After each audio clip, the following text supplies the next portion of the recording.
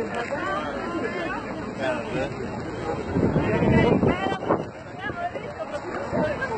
heb dobrze. Ja też na ik nie mogę, bo przecież to nie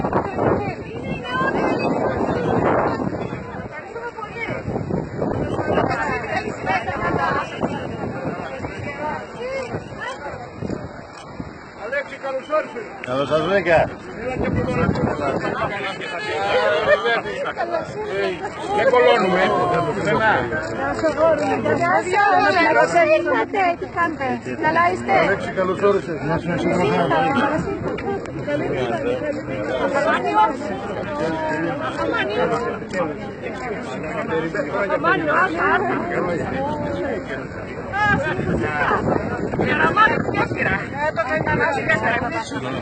Καλή είστε.